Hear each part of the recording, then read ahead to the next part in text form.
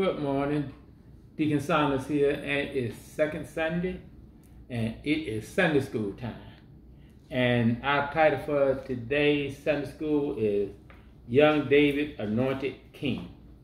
And this come and our text will be coming from 1 Samuel chapter 16, verses 1 through 4b, and verses 6 through 13. And we have related scriptures, which is 1 Samuel chapter 13, verses 8 through 14. And then we jump to chapter 15 of 1 Samuel, and we will be going through verses 1 through 23.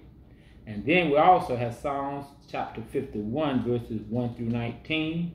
And we have Mark chapter 7, verses 14 through 23. And the place is Bethlehem, and the time is it's about 1025 BC. And our golden text will be coming out of 1 Samuel chapter 16, verse 7. And it reads as such The Lord saves not as a man seeth, for man looketh upon the outward appearance, but the Lord looketh on the heart. And that's 1 Samuel chapter 16, verse 7. In church now, it is prayer time. so let's pray. And I don't know what nobody's going through, but I know someone who does. And that's our Lord God Almighty who knows all. So when you have a problem or you just want to pray, just ask God, say, Lord, help me. And I'm a living witness that he's able to do what he said he's going to do because his word never fails. His word never never fails. Songwriter wrote a song said, God never fails. And I believe that. So let us pray. Our Heavenly Father, we come on this beautiful second Sunday, Lord God, that we've never seen before. Lord, we don't know what this Sunday gonna hold for us, Lord God. We don't know what turmoils we're gonna go through. We don't know what, we don't know what situations we're gonna be in. But Lord, one thing we do know that when we woke up this morning and our eyes opened up, we know that was a blessing. And for that, God, we just want to say thank you. And as I stated before, Lord, we don't know what this Sunday holds, but we know that if we hold on to your word, where your word tells us that you will never leave us nor forsake us, that tells me no matter what this Sunday brings, this Sunday, if we go through, whatever we go through, we're going to go through with you, Lord God. And for that, we say thank you. Okay. Now, Lord God, anoint Sister Saunders as she brings the Sunday school lesson this morning, Lord God. And that is sink into our hearts and into our souls and into our minds, Lord God. Because we know that you're coming back and you're looking for a church without spot or wrinkle, Lord God. And we want to be a part of that church. And Lord God, just can continue to bless us and keep us in your care. And Lord, touch every pastor everywhere that is preaching the gospel, that's preaching that you gave us your only begotten Son who died on the cross for our sins and you rose again on that and he rose again on that third day lord god. And we know when jesus rose on that third day we know he rose with all power all power in his hand. So that tells me if i know that my jesus rose with all power that i can go to him for anything because i know he has the power. And for that god we just want to say thank you thank you thank you. Amen. and this is our prayer. In jesus name we pray. We said amen amen, amen. amen, amen. Mm. Hello, hello, hello, and welcome back to another uh, edition of the Sunday School lesson. Mm. And Deacon Saunders, I just want to give a prayerful shout out, if you will, if that's, mm, that's fine. appropriate thing to do. Listen, we have been going to so many homegoing services, yeah. and we just want to lift up the bereaved families, uh, mothers who are losing their adult children, um, families who are losing siblings and aunties and grandmothers and mothers um, and fathers, um, and we're just losing family and friends. Um, but God knows. He says that what we belong to Him. Yeah. He's a, he put us here, but just for a little while. For a season. To fulfill whatever plan that He has in our life. And we just want to say thank you, Lord. But one day we shall return back to Him. But we just want to lift up those families that they find peace in the midst of the storms that they're going through in their lives. And know that with God, excuse me, is that how you said it? What? Nothing fails. And so God never fails. God never fails. Mm. He never fails. Yeah. And the plan that He have upon our lives never fails. Amen. Okay, so um, we started out this summer quarter in the Bible Expositor and Illuminator that's produced by Union Gospel Press. We want to thank them for um, awesome lessons. They're uh, pretty uh, easy. I like the way that they flow, and you really get a biblical, uh, a great biblical view from lesson to lesson, mm-hmm. and how they lay it out. Um, we've been talking about God's work through women and youth. Now, for the last two months, we have been lifting up the women of God.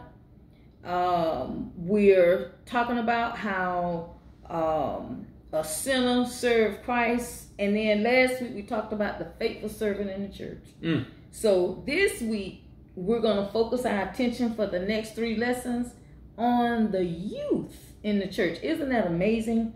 The young people of faith. And so today, our lesson is about a young man named David.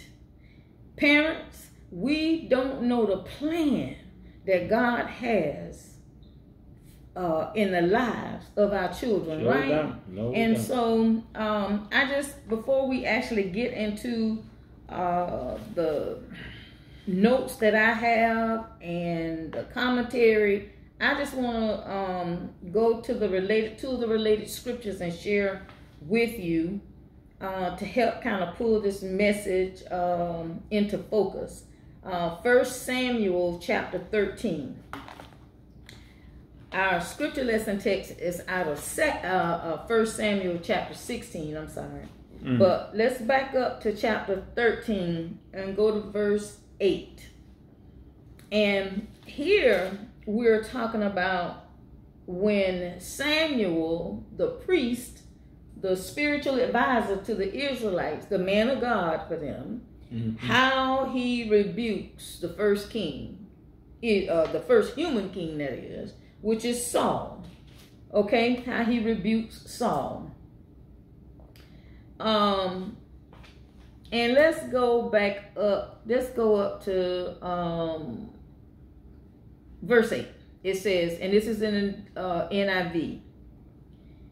He waited seven days, the time set by Samuel. But Samuel did not come to Gilgal, Gilgal, and Saul's men, they began to scatter. So he said, this Saul, Bring me the burnt offering and the fellowship offering. Now he know he not supposed to do that. We cannot defile the house of the Lord, mm-hmm. God's temple, and we shouldn't be anyway. Amen. But Saul was impatient, and Saul offered up the burnt offering. Just as he finished making the offering, Samuel arrived, and Saul went out to greet him. And Samuel immediately realizing what Saul had, what in the world have you done? We already know from our studies that it was only certain people mm-hmm. allowed in certain places.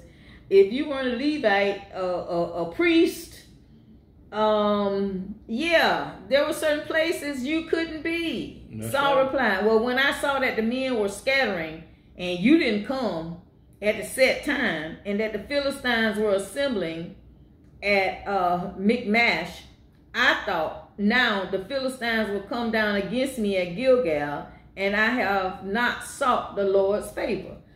so I felt compelled to offer the burnt offering. And Samuel said, You acted foolish. You have not kept the command the Lord your God gave you. If you had, he would have established your kingdom over Israel for all time. But guess what? since you have disobeyed God, but now your kingdom will not endure, the Lord has sought out a man after his own heart and appointed him leader of his people because you have not kept the Lord's command. Mm, mm, mm. Being hard headed. Being impatient. Could have been a man that God could have used. Yeah. But I don't think there are any surprises to our Lord and Savior. No. Then Samuel left Gilgal and went up to Gibeah and in Benjamin, and Saul counted the men who were with him. They numbered about 600. So the moral of that story is here is the leader not doing what he's supposed to do, disobeying God. Amen. And then let's go over to um, Mark chapter 7. And it tell us verse 14 through 23.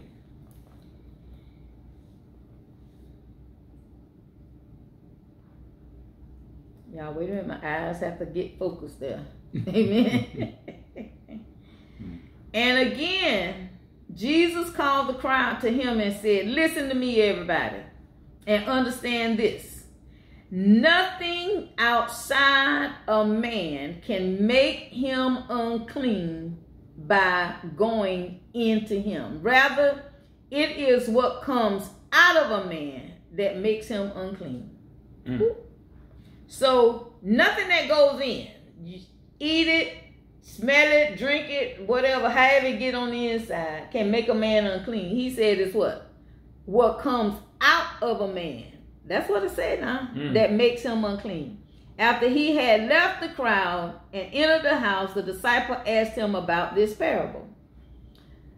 Uh, are you so dull? He asked.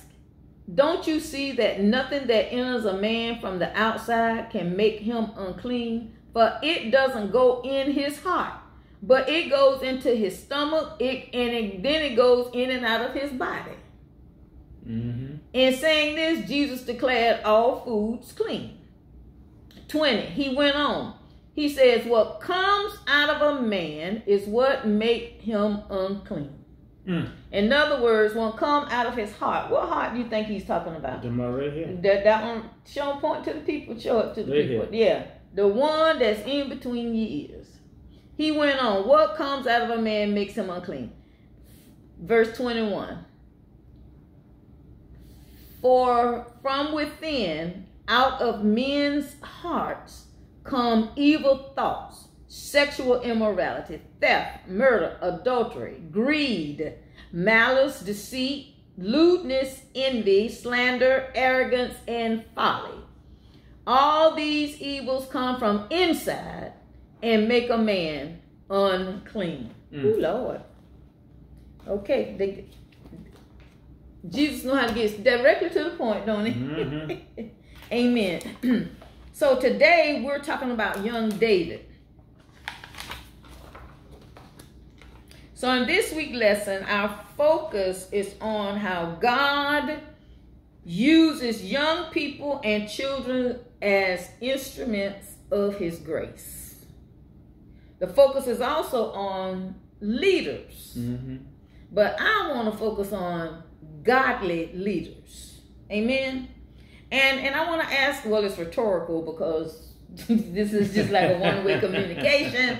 Deacon Saunders, you don't have to answer this one. I'm not. What qualities do you want in a leader a leader that will can gain your respect and can gain your following. Think about that.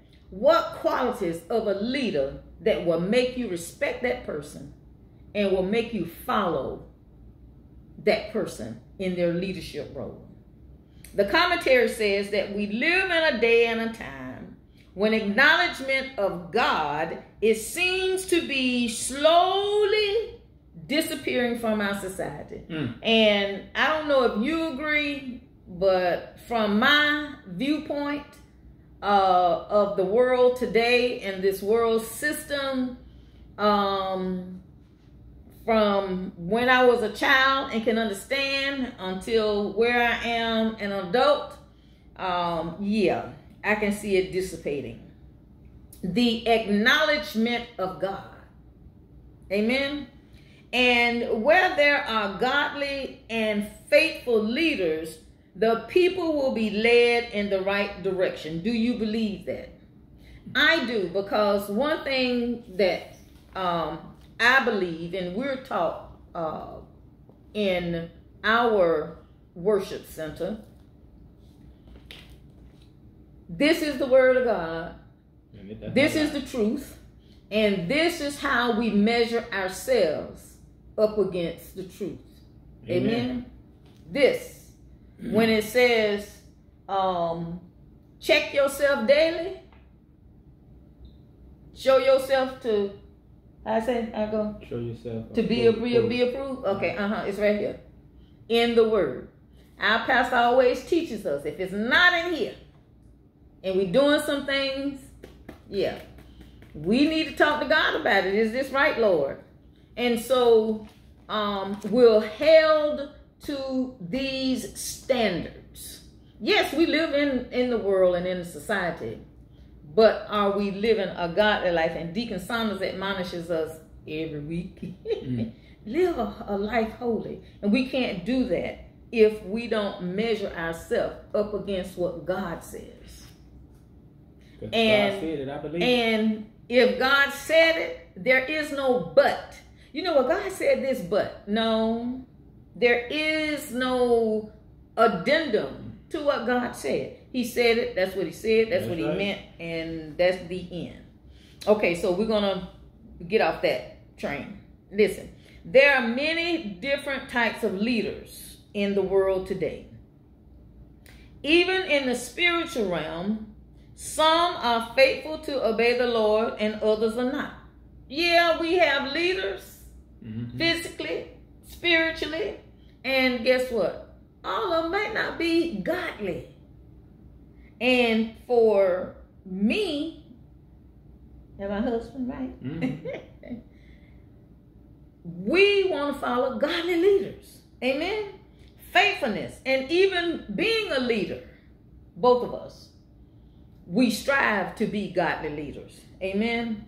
Faithfulness has a lot to do with whether a person will humble himself before the Lord and obey him. Many kings in Israel's history, they failed at their job. They failed at their assignments because their hearts were lifted up in pride. We just mm-hmm. read about Saul.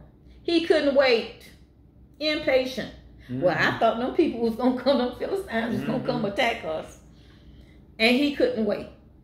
And after he had done the bad deed, disobeyed God, yeah, rejected what God said, didn't trust, didn't humble himself, all of the above. Mm-hmm. Um, yeah. So let's see what happened. Um, after the judges, let's talk about Samuel. Samuel became Israel's leader, with God serving as the King of Kings. So at this time, Samuel is a, a priest, he's a spiritual advisor, mm-hmm. um, but he's leading the people. And they really didn't have a human king at the beginning of First Samuel. Samuel served, uh, like we said, as a priest. He became the first prophet and the last judge in Israel. So when Samuel got to be an old man, so it went on like this for a long time, right? He set his sons up as judges in Israel. Fed up. All the elders of Israel, they got together and they confronted Samuel. They said, look here, Samuel. Look here. Hmm. You old and your son's not cutting the mustard. Is that right? That's Is that how you say it? Cut the cut mustard. The mustard.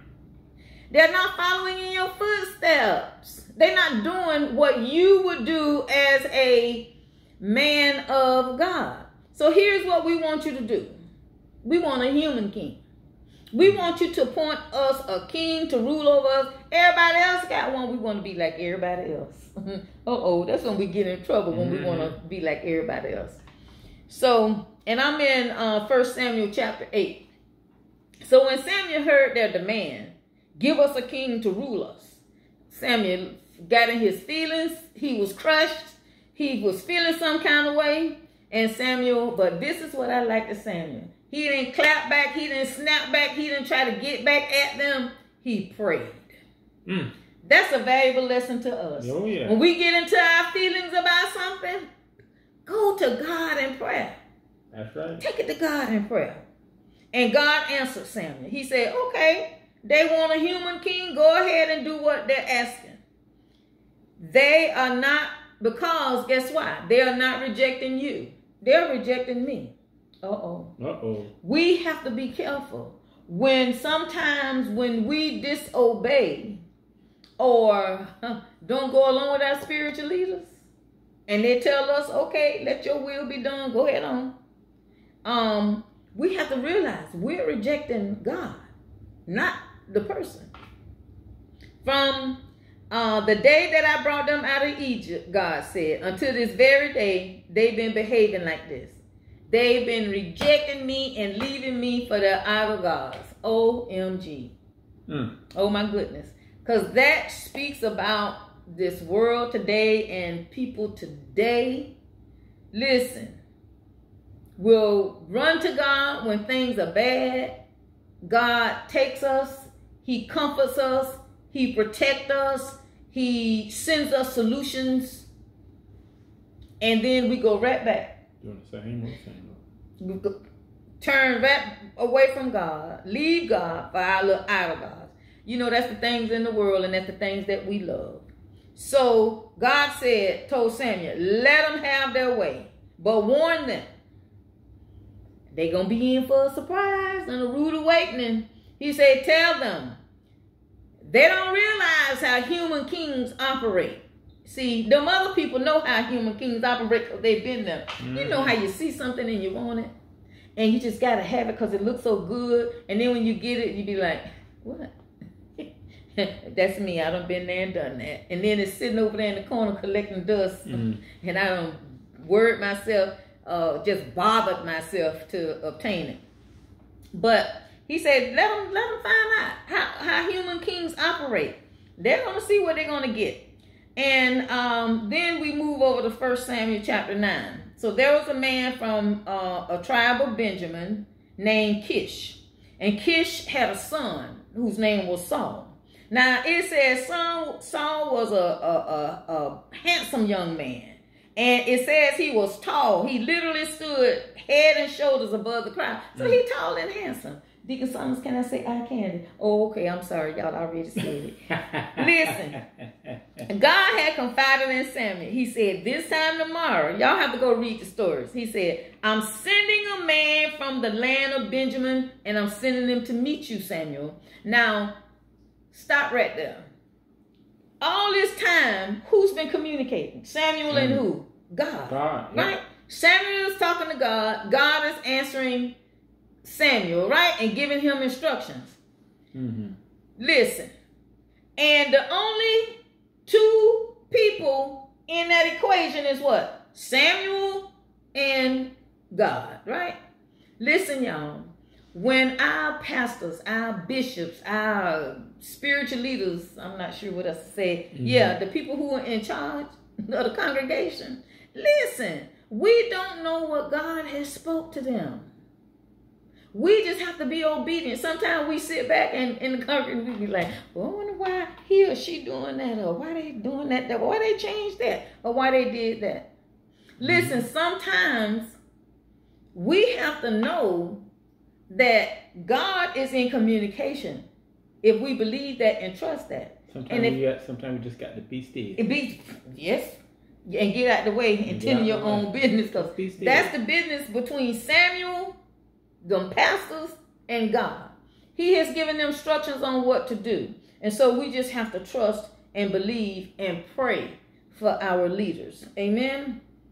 Perpetually be in prayer. Amen. Even if we don't agree with some things. So, um, Samuel, God told Samuel, he said, this time tomorrow, I'm going to send a man from the land of Benjamin to meet you. And what I need you to do, Samuel, you anoint him as prince over the people. He's going to be the first king. And he said, I will free my people from the Philistine oppression. Yes, I know all about their hard circumstances.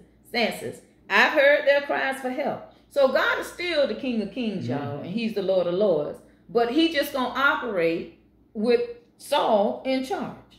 The moment Samuel laid eyes on Saul, God said, mm, "That's the one. That's the one right there. That's the man I told you about. yeah, he's the one that's gonna be assigned to keep these people in check." And then after some while, a while had passed. Politically, Israel was in turmoil. Kind of like we are today. Mm-hmm. Politically, we in turmoil. But unfortunately, Saul did not measure up as God's king. And we read about it in uh, 1 Samuel chapter 13. And then Saul, he started out real good, but then he got, I think he got, got kind of big head. The, the, got, the people showed favor to him, and he just. He got yeah, big head. Yeah. Bottom yeah. He got big head. Uh-huh. And so, um, he, yeah, we start, sometimes we get in power, authority, uh, some people can tend to take want to take the credit. We know that God gets all the glory, and uh, but when you want to take the credit and then you make it all about you, um, yeah, it becomes problematic. Yeah, that's not a good virtue or characteristic of a godly leader. Um, so God finally announced his rejection, the rejection, his rejection of Saul as king, and specifically when Saul played the role of the priest and disobeyed God by refusing to annihilate the Amalekites. While, Saul, while King Saul was making one mistake on top of another, God sent Samuel to find his chosen shepherd, David. David is believed to have been, at this time, about 12 to 16 years old. So he was a kid, a teenager, when he was anointed as the king of Israel. So now we're going to get into the story. Hmm. Okay?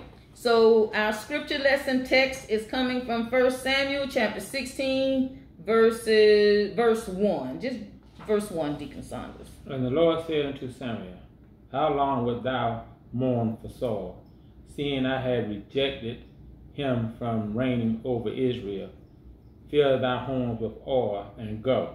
I will send thee to Jesse the Bethel, Bethlehemite. Beth, Bethlehemite for I have provided me a king among his sons. All right, so mm. now Samuel, although he had to do some things to to to rebuke Saul, this boy in his feet. I mean, this sir the priest.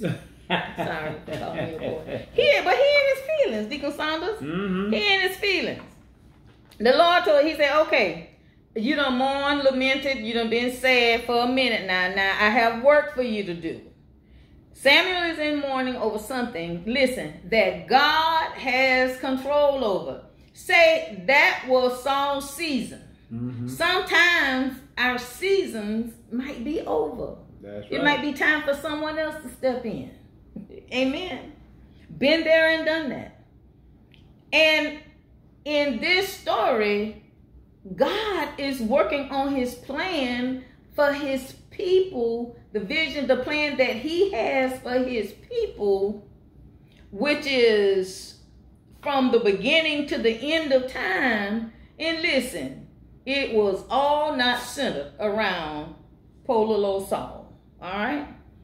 And um, the Lord rejects all who will not obey his word. And he was doing fine until he did what? Rejected the Lord. All right? Then God told um, Samuel, He said, Fill your horn with oil and be on your way. You have some anointing to do. Mm. Because He said, I'm sending you to Jesse to see Jesse of Bethlehem. He said, Because I have chosen one of his sons to be king. Now, we know this oil. You can imagine this oil is a representation of the Holy Spirit. Mm-hmm. Amen. And if the Holy Spirit is present, Y'all, I don't know about y'all, but thank you, Lord, for your spirit. Thank you, Lord, for your spirit being present, omnipresent everywhere, uh, all around me. Uh, uh, yeah. Thank you for your anointing, Jesus. It is always in order. Uh, uh, the Holy Spirit is present um, when they're going out for a mission to be accomplished and for a mission to be completed seems fitting. Mm-hmm. When we go out doing missionary work, don't we want to take uh, the Lord with us? The Spirit Amen. of the Lord with us? Amen. Amen. hmm. Okay? So it says that the Holy Spirit is present. It is always present in order that a mission be accomplished. So God told Samuel, He said, Go to Bethlehem and go to the house of Jesse, and you're going to find my replacement king. The horn filled with oil, we said again, was for also not just for the Holy Spirit, but for the anointing of this new king. Samuel was willing to obey God. He has always obeyed God. And he mm-hmm. just seen firsthand what disobeying God brought mm-hmm. Saul.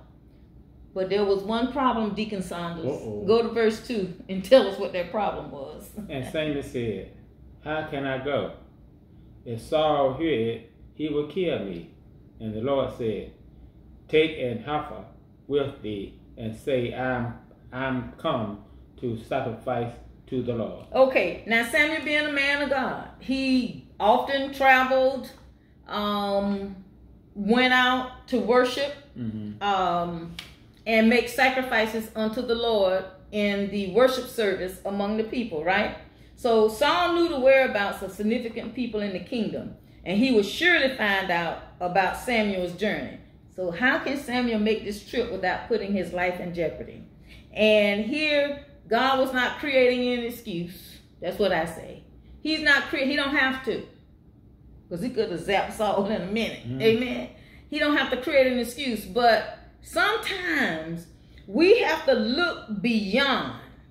Oh Lord, I tell my little young granddaughter that all the time. Well, Nana, I can't, my job, I can't, baby, if you don't put in a job application, but, but this and but that. And, listen, sometimes we have to look beyond the obstacles that we think are in the way and come up and think about different alternatives and ways that we can move around those obstacles if that's what God told us to do. Yeah. Amen. This commentary says here the flesh always tries to kill the spirit. I can't do it. but if, if I do that, but what about this? The two cannot abide. This work of the flesh demanded by Israel will hinder and quite possibly delay the work of the spirit. How much does the church deprive itself? Because it follows the ways of man and not of the Lord.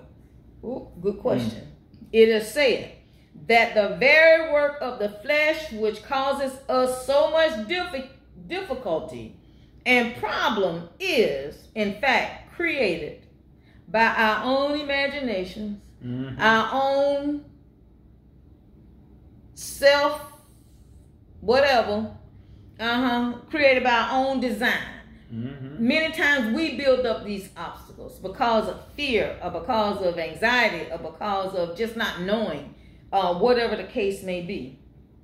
But since God had given Samuel this assignment, don't you think God already knew that uh, he needed to make a way for Samuel to get out of there, to carry out his plan? One thing I do believe, God will protect us. Oh, yeah. If he gave you an instruction, he will protect you and he will provide. He'll make a way.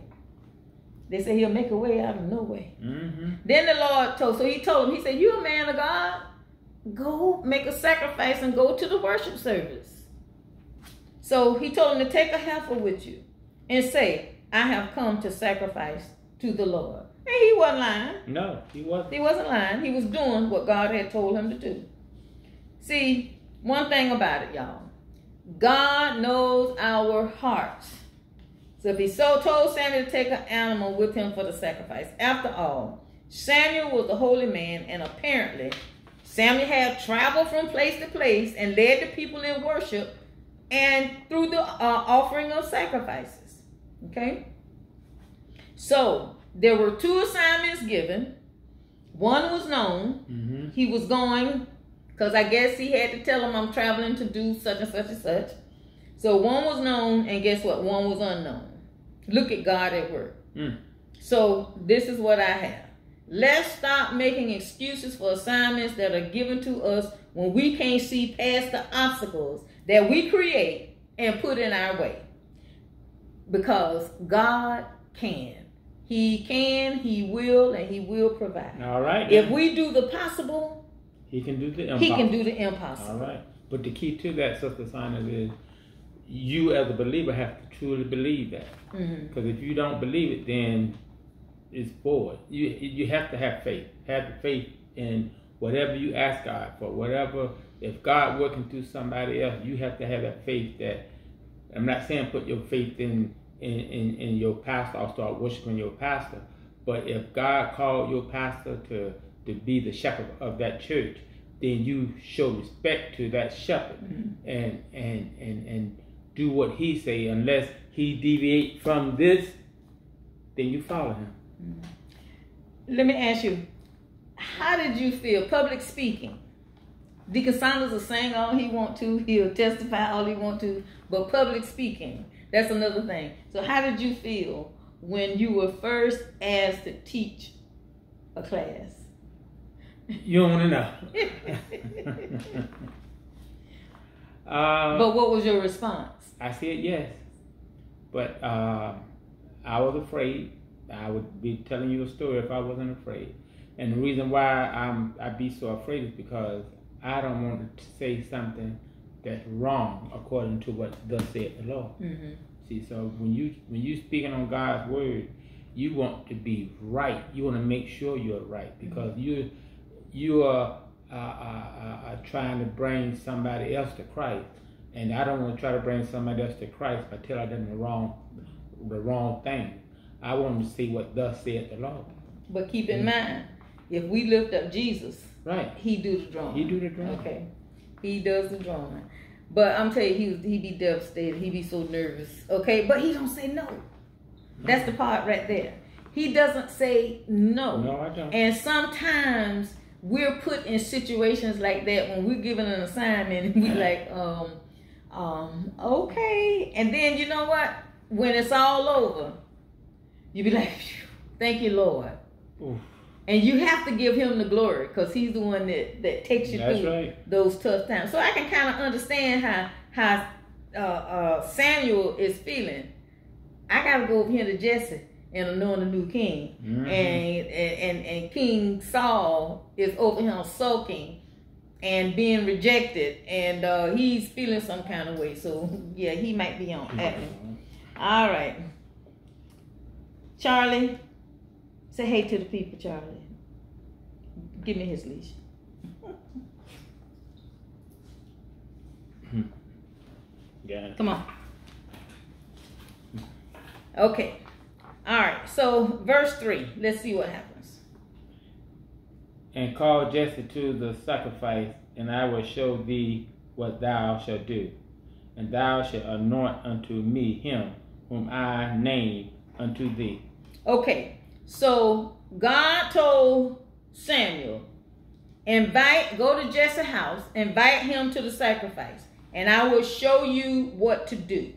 He said, You are to anoint for me the one that I indicate. So this is one of Jesse's sons. Mm-hmm. So in order to further help Samuel accomplish his will, God specifically instructs him to invite Jesse to the worship service.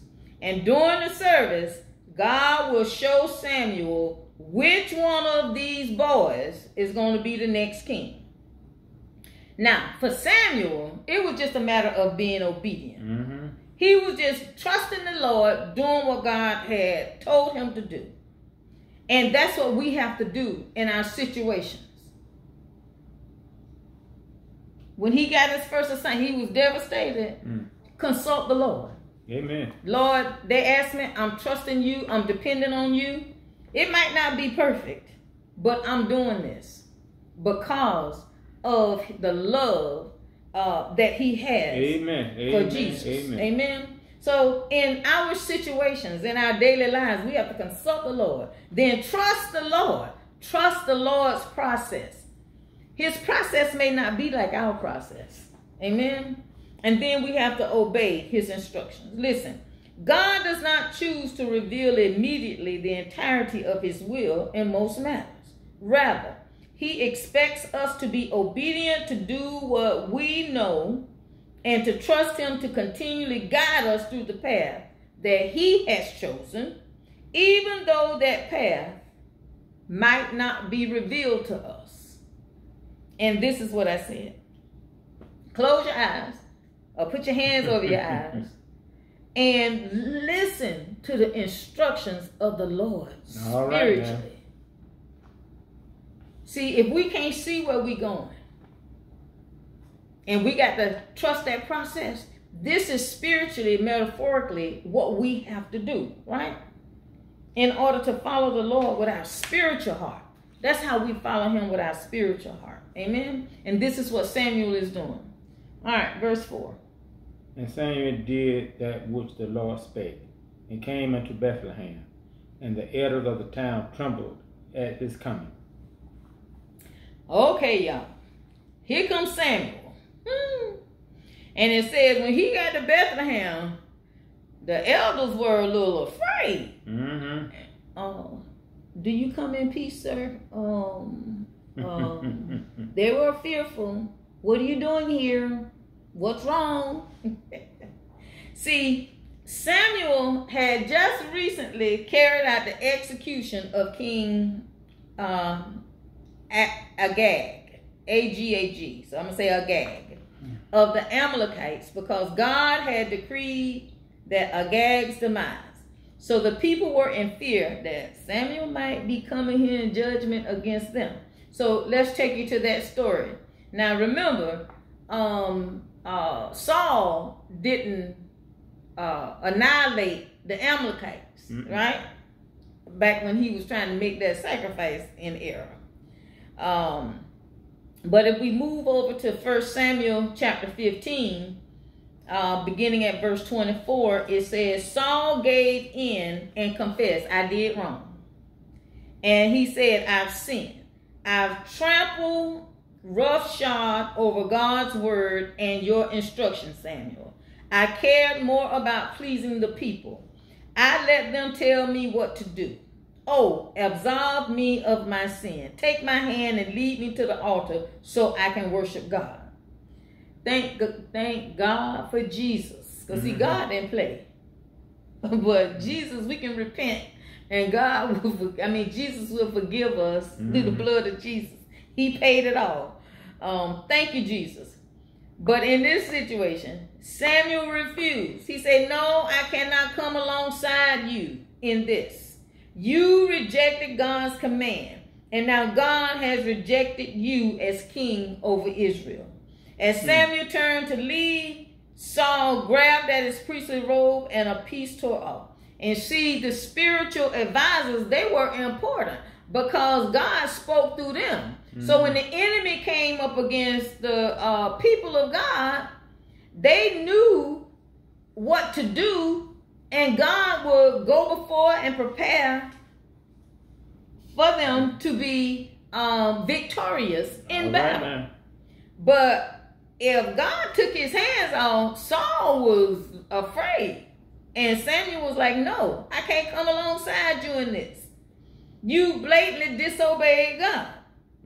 And verse 27 says, As Samuel turned to leave, Saul grabbed at his priestly robe and a piece tore off. And Samuel said, God has just now torn the kingdom from you, and he handed it over to your neighbor, a better man than you are. Hmm. See, sometimes in in transitions, sometimes you just gotta let things play out. Yep. When there's a transition from one leader to the to the next, God knows best. That's the best way I can That's put it. it. God knows best. And Israel's God of glory doesn't deceive and he doesn't dither. He says what he means and he means what he said. God didn't play. Jesus tried again. I mean, um, Jesus, sorry, y'all. and my mind went on Jesus. Saul tried again. Saul said, Saul, look, Samuel, I have sinned, but please don't abandon me. Support me with your presence before the leaders and the people. Come along alongside me as I go back to worship. So Samuel's support was very important to Saul. Mhm. He needed to see that, you know, because the people, yeah, because long as Samuel was there, they know, They know God, the presence of God, God was there. Yeah. Oh yeah. So Samuel did. He went back with Saul, and Saul dropped to his knees before God and he worshiped. Then Samuel said, present King Agag, Agag, A-G-A-G, of Amalek to me. Samuel called for him. He said, let me do what you should have did before. Agag came, dragging his feet, muttering that he'd be better off dead. Samuel said, just as your sword made many a woman childless, so your mother will be childless among those women. And Samuel cut Agag down in the presence of God, right there in Gilgal. Mm. Now, so Samuel had just executed this man, mm. Samuel, the priest, yes. So when Samuel showed up in Bethlehem, people were like, um, sir, in verse 4, um, can we help you? mm-hmm.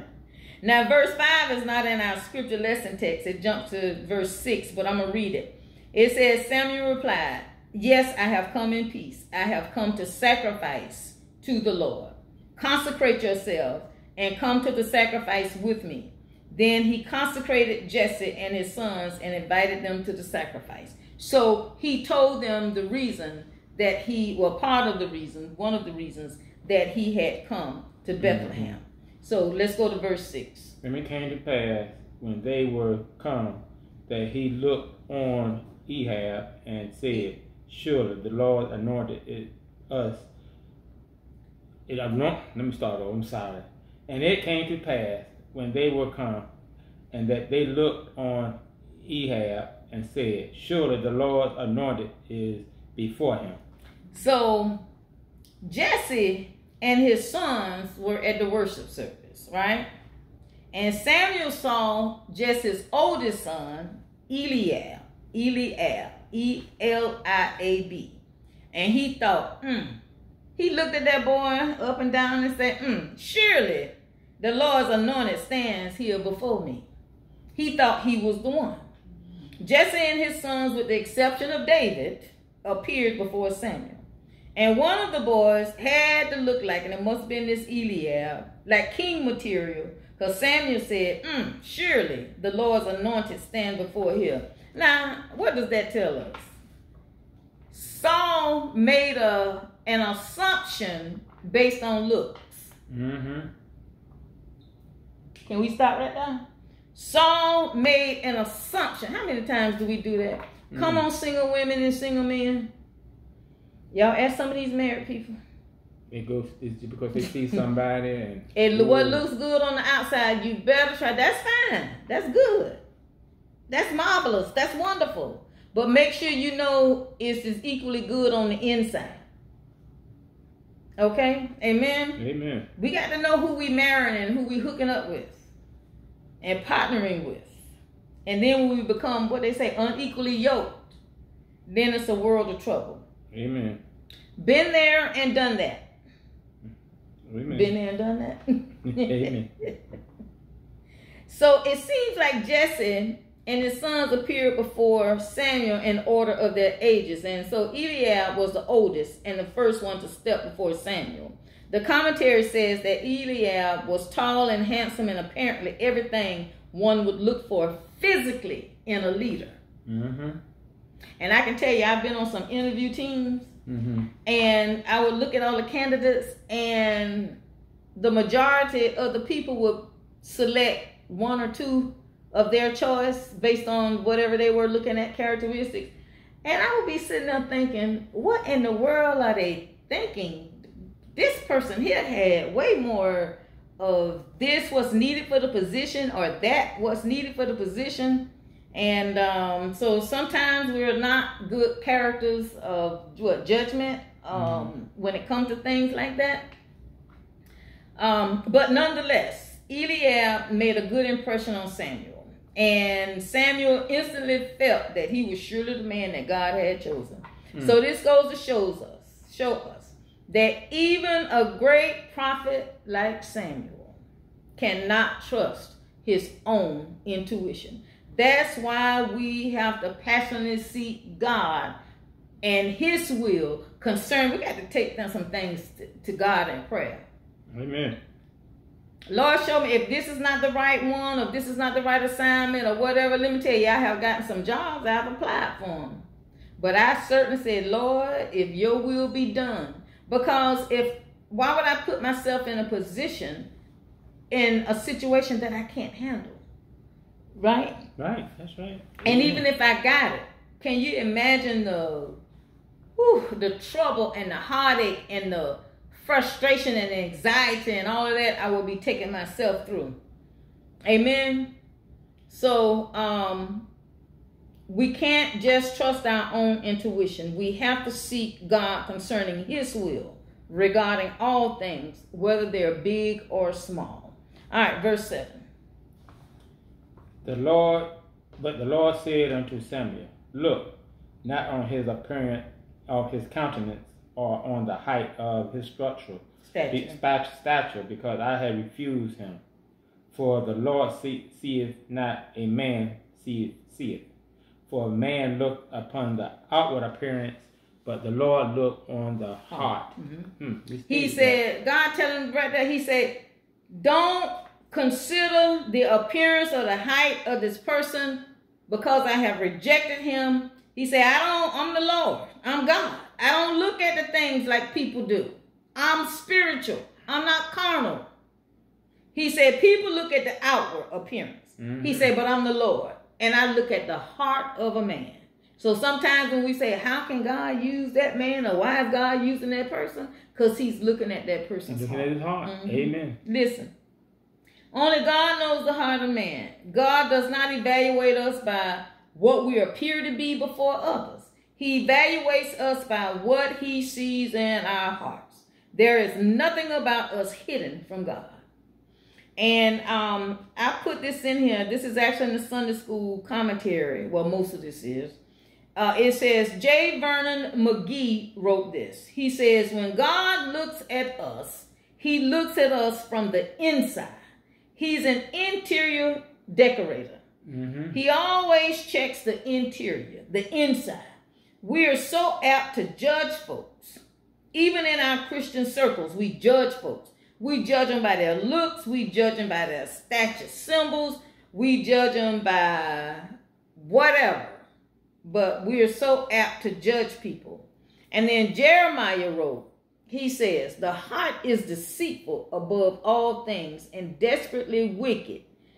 Who can know it? Because one thing I, you can do, you can hide. People cannot read your thoughts, but No. God can. Amen. He says, I, the Lord, search the heart. I try the reins, even to give every man according to his ways and according to the fruit of his doing. And you can find that in Jeremiah chapter 17, verses 9 and 10. It is important for us to recognize that when we stand before God on the last day, we will be totally without excuse. Amen. God will know what our true motives are, right? Mm-hmm. He'll know what your true thoughts are, and we will be stripped of all pretenses, excuses, anything else that you can come up with at that time. But you know, Lord, to see what this will happen. No, it ain't gonna be time for none of that. all right, verse 8, verses 8 and 9.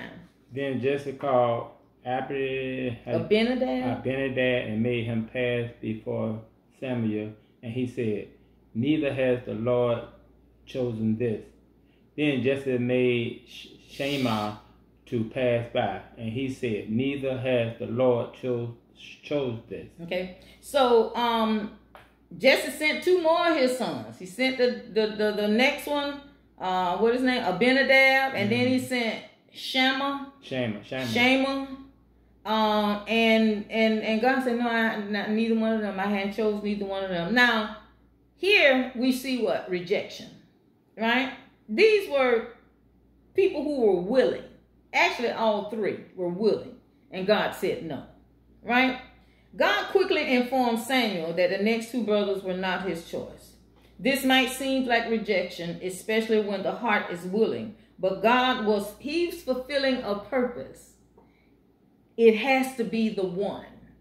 In God's business and his plan, the forever plan for his kingdom, it has to be the specific one. It Mhm. had to be Mary, That's the right. virgin That's right. right? It had to be. It had to be Joseph. Mm-hmm. It had to be Jesse. It had to be David. It had to be Ruth. Mm-hmm. It had to be all these people that were a part of the plan along the way. Amen. Amen. So um God was fulfilling his promise to guide Samuel. So all Samuel had to do was just to listen and to keep following. And that's for us. Hmm. I might not be chosen, but I still have to. Although my heart is willing, I got to serve in some other capacity That's right. because I have to follow God's instructions. As we can see, the rejection is not personal. It's not against you. It's not about whatever. Um, it was about the kingdom of God. That's what it's about in the end. It's about God fulfilling the plan, His original plan. Amen. All right, verse 10. And again, Jesse made seven of his sons to pass before Samuel. And Samuel said unto Jesse, The Lord has not chosen thee. 11. So listen, when we're under God fearing leadership, we must trust the judgment and the instructions of our leaders. If he says this was your assignment for a minute, but when the right person comes along, there's a transition that has to take place. I can't take that personal. Amen. If God gave them the instruction, that means that He didn't give it. To, if God gave whoever the leaders are the instructions, and I think we said that earlier. Mm, we did. If God give our leaders instructions and He don't give it, He don't give it to us. He give it to them. We have to be in perpetual prayer for them. Jesse ain't know what was going on. He he had all his boys to come up here, so we think. And God, Sammy said, no, ain't the right ones. Amen. So, what do you think Jesse is thinking after all his sons being rejected? He's probably like, "Can you? Are you kidding me?" And Samuel probably thinking, "Well, wait a minute now. God, I know God don't make no mistakes, and this man presented all his sons, and God has rejected all of them. Something's wrong." Verse eleven. And Samuel said unto Jesse, and Samuel said unto Jesse, Are here all these children? And he said, There remaineth yet the youngest, and he's and and behold, he's keeping the sheep. And Samuel said unto Jesse, Send and fetch him, for he will not set down till he come hither. Okay, so listen. Jesse holding out. Mhm. and when all seems lost, there's still hope. Now, here's a little shepherd boy that hadn't been presented. And when we think about the little shepherd boy, we think about what? The good shepherd. Mhm. Who's that? Jesus. See, this mission was so important that Samuel said, it, got, it has to be another. Are these all your children? And he said, No, it's just one. But Jesse didn't think, I guess he didn't think it was important to bring him. Right? So, um, David was the youngest, and his father apparently thought it would be useless to bring him into the worship service. Generally, those who are rejected by men, listen, those are the ones that God chooses. Mhm. Amen. And so um, Samuel knew God didn't make the mistakes. And he said, you know what? We got to wait right here until you go get him and bring him hither. Mhm. All right, verses 12. Verse 12. And he said, Bring him in. Now he was rooted and with all of a beauty, contents, and godly to look to. And the Lord said, Arise, anoint him, for this is he. All right. Woo. So they sent for David. He was glowing, it said, with health. He had a fine appearance. He was handsome features. And the Lord said, Rise and anoint him, for this is the one. David had to be considered since all the others had not been chosen by God. David is described as ruddy, which means red haired. And David, they say David was good looking and he was handsome. Mhm. But we do know that was not the reason that God chose David. Mhm. We already read earlier in what verse when God told him, I don't look at the outward appearance. Look at the inner appearance. He say uh, in verse 7 at the end, but the Lord looketh on the what? The heart. He saw the heart of David. And he told Samuel, he said, arise and anoint that young man right there. Anoint that boy, for this is he. This is the one. And our last verse, verse 13. Then Samuel took the horn of oil and anointed him in the midst of his brethren. And the Spirit of the Lord came upon David from that day forward. So Samuel rose up and went to Ramah. Ramah. Okay. So Samuel took the oil. Hold on, y'all. I'm looking for a scripture here. I'm gonna leave y'all with the scripture. All right. Samuel took the uh, horn of oil, anointed him in the presence of his brothers, and from that day on, the Spirit of the Lord came powerfully upon David, meaning that it stayed on David. Mm-hmm. Now, see, remember, we said David was between what, 12 and 16? He was young. Mm-hmm. And when Samuel did what he went to do, then he went to Ramah. The initial anointing of David was done in a private ceremony. Two public anointings came much later. Once when David became king over Judah, and again when he became king over the entire united nation of Israel. And you can go to 2 Samuel chapters 2 and chapter 5. For now, Saul was still the king, but God was not indicating his will, uh, but God was indicating his will for David in the future and using this situation to begin preparing David for his upcoming responsibility. Part of that preparation was the coming of the Spirit of the Lord upon young David. Mm-hmm. The Spirit of the Lord came upon because he had a willing heart. Listen, open the eyes of my heart, Uh-oh. Lord. Yes. uh, the constant presence of the Spirit upon David pointed to the, listen to this, y'all, to the pointed, it pointed or is giving us a, a hint of the permanent indwelling of the Spirit in all new covenant believers. That's us. And you can find that in Ephesians chapter 1, verses 13 and 14. And once Samuel's mission was completed, he returned to his home in Ramah. Now, as I said at the beginning of the lesson, we don't know that the plan that God has for our children. Amen. So I just continuously pray the anointing of the Spirit of God upon all our children in the name of Jesus. Listen, God is looking for faithful leaders who have a heart for Him and who has a heart for His mission on this earth.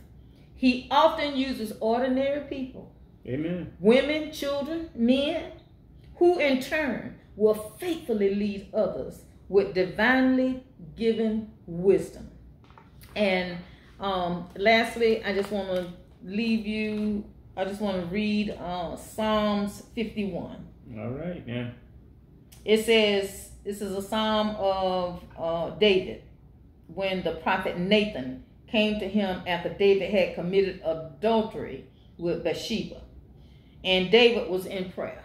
And this is what David said. He said, Have mercy on me, O God, according to your unfailing love according to your great compassion. Blot out my transgressions. Wash away all my iniquity and cleanse me from my sins. All right. Then. For I know my transgressions and my sin is always before me. Against you, you only, have I sinned and done what is evil in your sight, so that you are proved right when you speak and justified when you judge. Surely I was sinful at birth, sinful from the time my mother conceived me. And surely you desire truth in the inner parts. You teach me wisdom in the innermost in the inmost place. Then he says, Cleanse me with hyssop, and I will be clean. Wash me, and I will be whiter than snow. And this is in the NIV. Mm-hmm. He says, Let me hear joy and gladness. Let the bones you have crushed rejoice. Hide your face from my sins and blot out all my iniquity. And 10 says, created me a pure heart. King James says, a clean heart, O God, and renew a right spirit within me. Do not cast me from your presence or take your Holy Spirit from me. Restore to me the joy of your salvation and grant me a willing spirit to sustain me. And I'm going to stop right there at verse 12. Leaders, Amen. godly, choose godly leaders. Be a godly leader.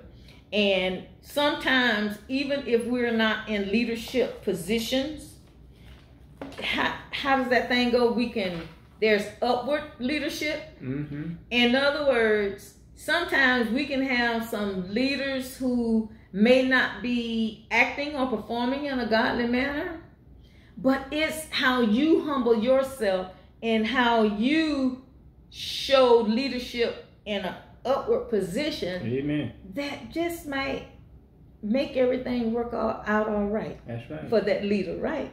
and one more. That's what God has designed for us to do. And that's right. And one more important thing is, uh, your leader, your pastor, don't worship him. But if, like I said earlier, if your pastor's following the Bible, then follow him, but don't Always worship, worship him. Jesus. But Okay. give God the honor and the glory, Glory. and the praise. Yes. Okay. And I pray that we have said something to bless you. And uh, until we meet again next week, uh, we will actually be coming to you next week from New Jersey, uh, if the Lord say so. So pray for us and our travels uh, and returning back home safely. Amen. And again, until our next edition of the Sunday School lesson. Be blessed. And see you next Sunday.